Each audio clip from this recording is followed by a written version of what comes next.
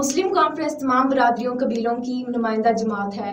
मुस्लिम conference को किसी हुक्मरान ने नहीं बनाया, बल्कि तारीखी फितरी अमल का नतीजा है। सदर आल जम्मू कश्मीर मुस्लिम कॉन्फ्रेंस सरदार अतीक अहमद खान।